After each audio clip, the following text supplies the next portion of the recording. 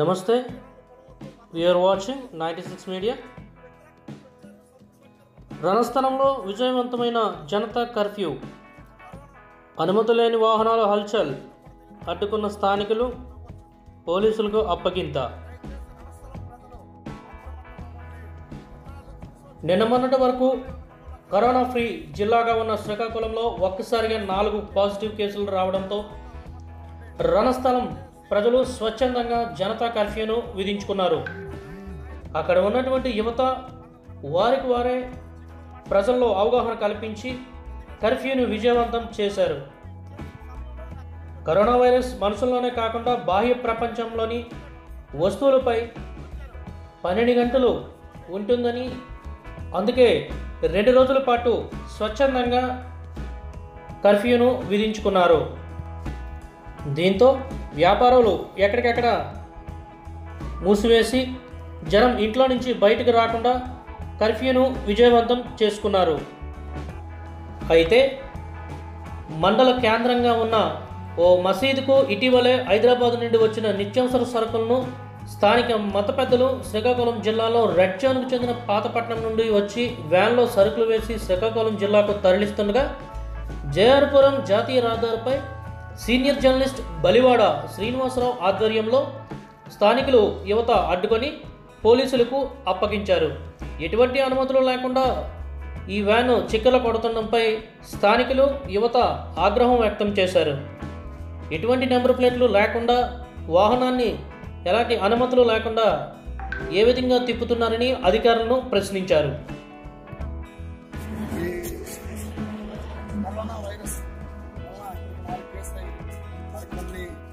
కేసులు నమోదవచ్చు వ్యాప్తి నమోదవచ్చు అని భయంతో ఆ ఈరోజు రేపు అంతా కర్ఫ్యూ చేస్తారు దీనికోసం అందరూ పనిచేస్తారు ఈ నేపథ్యంలో రణస్థలంలో జామియా మసీద్ ఉంది.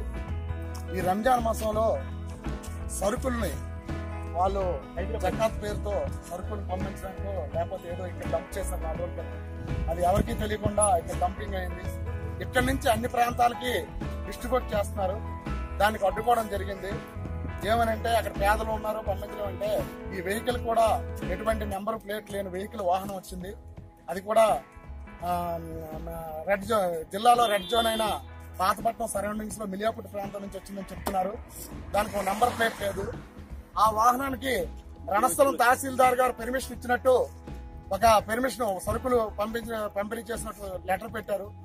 ఇప్పుడు అధికారులు కూడా ఇలాగా వాహనం చెక్ చేయకుండా పెర్మిషన్ ఇవ్వడం తప్పు. వృత్తి ఒక విధంగా అనుమతులు ఇచ్చేసుకుంటారు అయితే రణస్థలం ఈ జామియా మసీద్ నుంచి ఒక అడ్డాగా ఈ జిల్లా కేంద్రంలో జిల్లా ఎంట్రన్స్లో అడ్డాగా మారిపోయింది. ఇక్కడ పశువధ కూడా యథేచ్ఛగా జరుగుతున్న ఇన్నాళ్ళు ఊరుకున్నారు. ఇక్కడ నుంచి అయితే పశువధ ఊరు మధ్యలో జరిగిన ఇతర ప్రాంతాల శవాలు తెచ్చి జామియా మసీద్ దగ్గర ఖననం చేసిన ఆ, ఖననం చేసిన అడ్డుకుంటాం.